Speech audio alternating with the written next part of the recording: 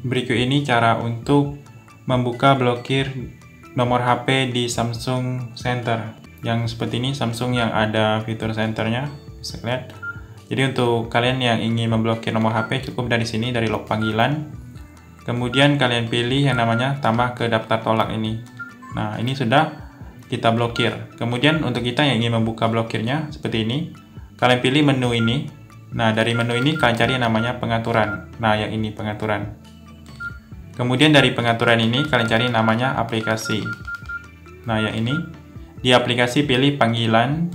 Di panggilan ini kalian pilih semua panggilan. Kemudian kalian cari menu yang namanya tolak otomatis, yang ini. Nah, di bagian tolak otomatis ini kalian tinggal pilih saja. Pilih di sini, pilih yang namanya hapus. Nah, pilih ya.